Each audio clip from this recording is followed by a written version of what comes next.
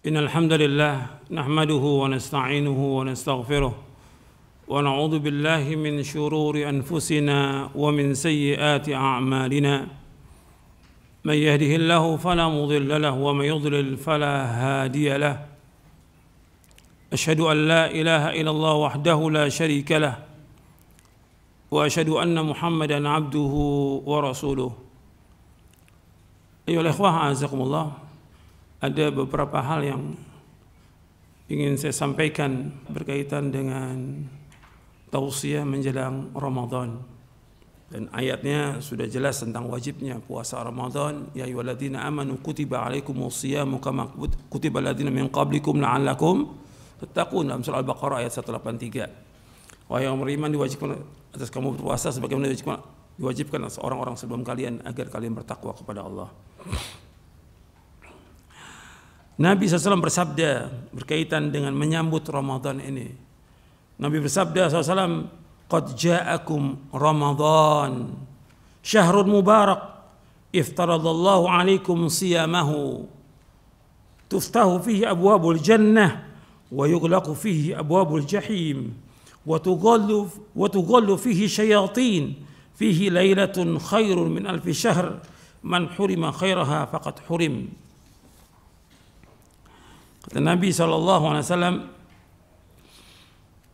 telah datang kepada kalian Ramadan bulan yang diberkahi oleh Allah Taala.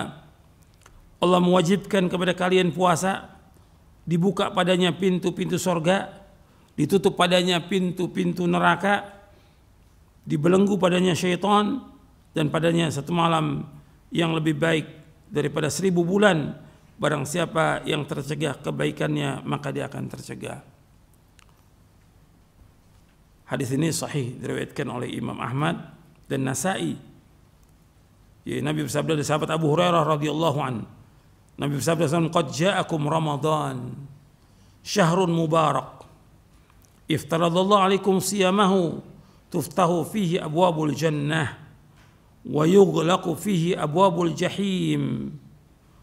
وتغل فيه شياطين فيه ليلة خير من ألف شهر من حرم خيرها فقد حرم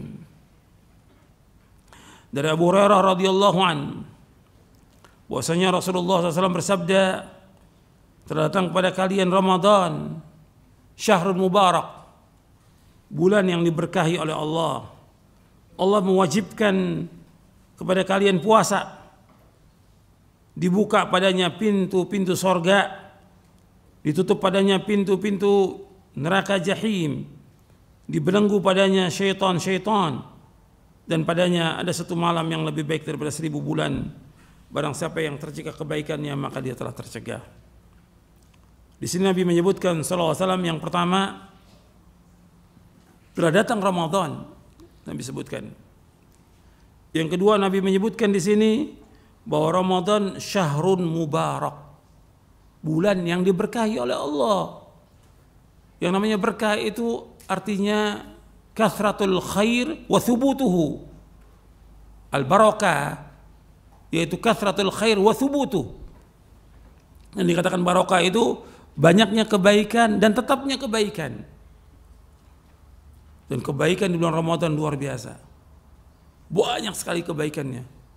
Barokah syahrun mubarak bulan yang diberkahi oleh Allah Subhanahu wa taala.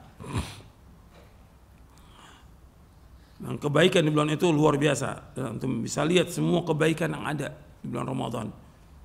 Yang ketiga, Allah wajibkan padanya puasa. Sebagaimana disebutkan dalam surah Al-Baqarah ayat 183. Yang keempat, dibuka padanya pintu-pintu sorga. Dibuka.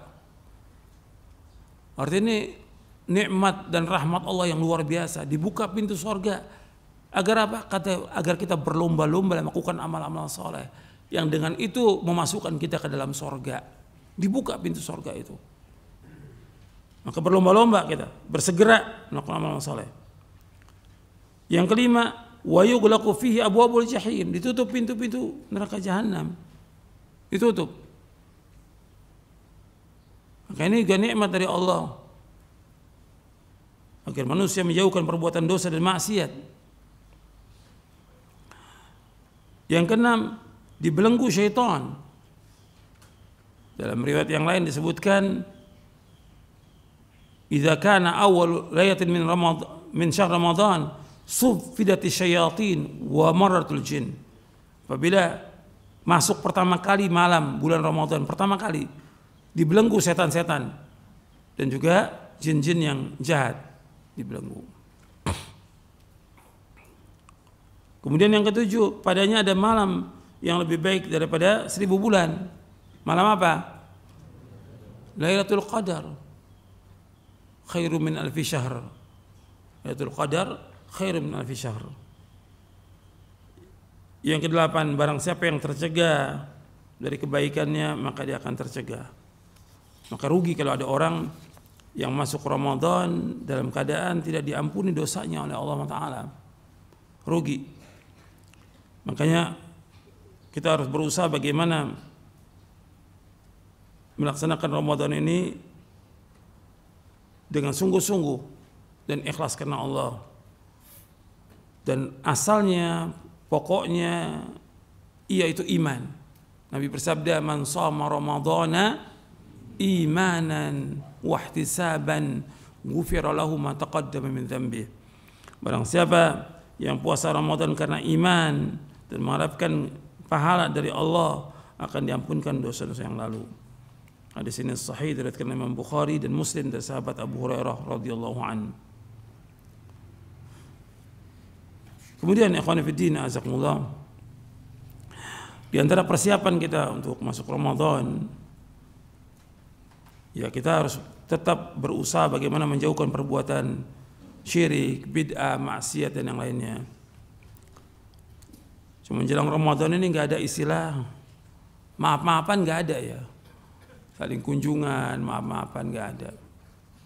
Dan biasa kita ini kalau udah mau Ramadan makan-makan. Kayaknya kita nggak pernah makan seumur hidup ini. Jadi makan, nggak ada yang seperti ini. Seolah-olah kita nggak bakal makan lagi sudah. Jadi kalau kita lihat Ramadan ini ya bulan makan-makan akhirnya diawali dengan makan-makan. Ini enggak ada seperti ini. Dan sibuk orang untuk cari makan, padahal setiap hari dia makan. Kemudian juga tidak ada pengkhususan ziarah kubur, enggak ada. Ini juga termasuk bid'ah menetapkan mengkhususkan menjelang Ramadan ziarah kubur. Dan yang lainnya lagi tidak ada ya pesta kembang api, petasan, beduk, pawai dan enggak ada dalam Islam itu. Tidak. Jadi apa yang kita persiapkan? Yang pertama kali persiapan kita taubat kepada Allah atas semua dosa. Taubat. Karena Allah merintahkan demikian dalam Al-Quran. Ya ayyuhalladzina amanu tubu ilallahi taubatan nasuha. Wahai orang beriman, taubatlah kepada Allah dengan taubat nasuh. Allah juga berfirman, "Wa tubu ilallahi jami'an ayyuhal mu'minuna la'allakum tuflihun." Bertaubatlah kalian wahai yang beriman semuanya agar kalian menjadi orang-orang yang sukses, yang bahagia. Yang kedua, yang harus kita ingat bahwa Ramadan ini syahrul Quran. Syahrul Ramadan alladhi unzila fihil Quran. Ramadan diturunkan padanya Al-Quran. Hudal linnas wa bayyinatin minal huda furqan. Makanya sibukkan kita dengan membaca Al-Quran. Para ulama salaf itu kalau sudah Ramadan sibuk dengan baca Al-Quran. Sibuk dengan Quran. Kalau bulan-bulan yang lalu saya pernah menjelaskan kepada antum bahwa minimal kita baca satu hari itu satu juz. Berarti sebulan kita khatam. Itu untuk bulan yang lalu, berapa bulan yang lalu saya sampaikan. Untuk bulan Syaban, ya dua juz kita baca. Syaban. Berarti 15 hari dah khatam kita. Untuk Ramadan, ya sehari minimal tiga juz. Itu baca. Dan waktu kita ada, tinggal kita atur waktu. Pagi, siang, sore, malam, tinggal atur waktu. Harus kita membaca Al-Quran. Karena Allah memerintahkan baca Al-Quran. Dan Nabi SAW juga memerintahkan untuk baca Al-Quran. Kata Nabi, Iqra'ul Quran fa'innahu ya'ti yawmal qiyamati syafi'an li ashabihi. Akhrajahu Muslim. Baca Al-Quran karena Al-Quran memberikan syafaat pada orang yang bacanya pada hari kiamat nanti. Perhatikan ini. Beda antara bulan-bulan yang lain. Para ulama salaf itu sibuk dengan Al-Quran. Bukan mereka nggak dagang, nggak usaha ada. Mereka usaha sekedarnya aja. Tapi sibuk dengan baca Quran. Dia baca, istrinya baca, anaknya baca, sibuk dengan Al-Quran. Jadi setiap rumah itu terdengar suara Al-Quran setiap hari, siang dan malam. Ramadan itu. Anda perhatikan itu. Sibuk dengan Al-Quran. Jangan disibukkan dengan yang lain. Ini cobaannya banyak, godaannya banyak, godaannya. Ramadan ini. Antum sibukkan dengan Al-Quran. Yang ketiga, yaitu perbanyak sedekah. Perbanyak sedekah. Setiap hari. Gitu. Kalau di hari-hari biasa kita banyak sedekah, apalagi Ramadan. Setiap hari malaikat turun mendoakan orang yang sedekah. Ma min yaumil yusbihul ibadu fi ila malakani yanzilani fayaqulu aduma Allah ma'ati munfiqan khalafa wa yaqulu akhar Allah ma'ati mumsikan talafa akhrajahul Bukhari. Kata Nabi SAW, setiap hari dua malaikat turun. Dia berkata, Ya Allah gantikan orang yang infak hari ini yang satu malaikat berkata ya Allah hancurkan orang yang tidak infak hari ini setiap hari itu disuruh sedekah dan Nabi bersabda SAW ittaqin nara walau bisyiqqi tamratin Jaga diri kamu dari api neraka meskipun dengan sebutir kurma. Tujuan kita sedekah itu agar kita terhindar dari apa? Api neraka. Bukan tambah banyak. Saya sedekah biar rezekinya tambah banyak. Bukan. Rezeki sudah dibagi sama Allah semuanya. Semua sudah dibagi sama Allah.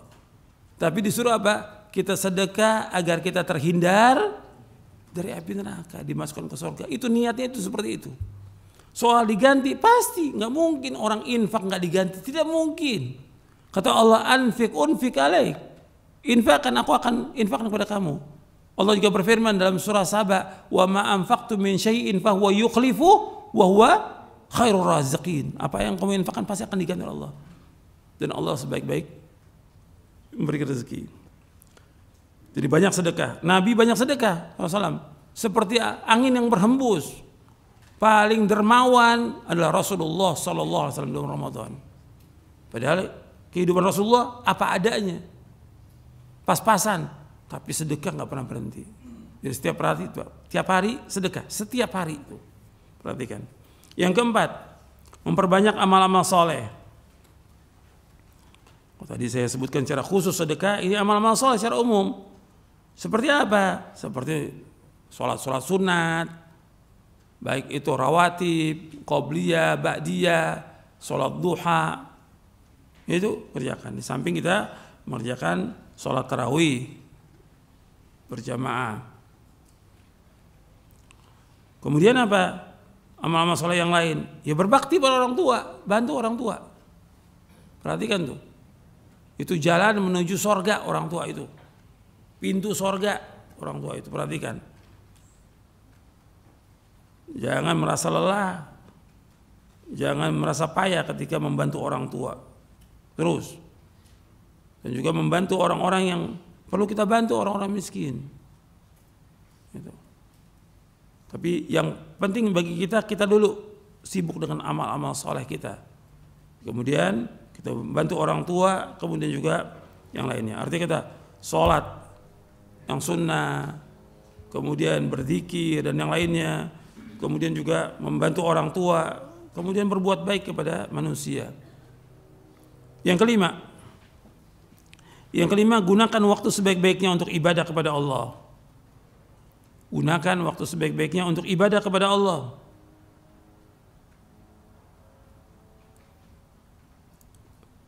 Ini bulan-bulan ibadah. Sibukkan dengan ibadah kepada Allah ya seperti zikir, berdoa, baca Al-Qur'an dan yang lainnya. Dan di sini seperti yang tadi saya sebutkan perkataan Qayyim harus kita ingat musyahadatu minnatillah. Kita menghadirkan bahwa ini semua nikmat dari Allah, karunia Allah. Kita bisa baca Quran, kita bisa berzikir, kita bisa baca buku, kita bisa melakukan ibadah, semua nikmat dari Allah. Saksi, hadirkan tuh semua nikmat Allah. Kita nggak punya apa-apa datang ke muka bumi ini. Allah berikan semuanya. Dan gunakan waktu sebaik-baiknya. Jangan sia-sia, jangan ada waktu yang terbuang. Jangan buat nonton, buat main HP. Perhatikan itu. Waktu sangat berharga akan ditanya oleh Allah waktu kita. Dan Nabi bersabda SAW, min husni islamil mar'i tarkuhu mana yakni kebaikan Islam seorang meninggalkan apa yang tidak bermanfaat. Tinggalkan yang bermanfaat. Apakah omongan, apakah permainan, apakah perbuatan, atau main HP yang gak ada manfaatnya, nonton atau yang lainnya. Justru ini waktunya ibadah, sibukkan dengan ibadah kepada Allah Taala. Jangan sampai kita rugi, rugi. Waktu ini modal kita. Waktu termasuk usulun ni'am. Usulun ni'am, pokoknya nikmat. Jangan dibuang dengan sia-sia. Akan ditanya Allah di hari kiamat nanti. Ya semua tinggalkan yang nggak nggak bermanfaat, yang sia-sia tinggalkan. Kemudian yang keenam, yang kita harus ingat bahwa tujuan kita puasa Allah sebutkan apa? Agar apa? Takwa. Ya ayyuhalladzina amanu kutiba alaikumus shiyamu kama kutiba alladzina min qablikum la'allakum tattaqun agar kita bertakwa kepada Allah. Tujuan kita agar kita bertakwa kepada Allah. Kemudian yang terakhir bahwa kita selalu memohon kepada Allah agar amal-amal kita diterima oleh Allah. Maka anda perhatikan di tengah-tengah ayat puasa Allah sebutkan tentang doa. Doa. Maka di antara doa-doa kita, doa agar amal kita diterima oleh Allah. Terus itu. Jadi jangan merasa berbangga dengan amal kita, tapi doa kepada Allah. Itu di antara yang perlu saya sampaikan. Mudah-mudahan bermanfaat untuk saya dan untuk antum sekalian. Yang penting bagaimana kita mengamalkannya sesuai dengan sunnah Nabi Sallallahu Alaihi Wasallam dan mohon kepada Allah agar kita dimudahkan untuk masuk ke bulan Ramadan dan melaksanakannya dengan sebaik-baiknya yang lebih baik daripada tahun-tahun yang lalu. Wassalamualaikum alaihi wasallam wa.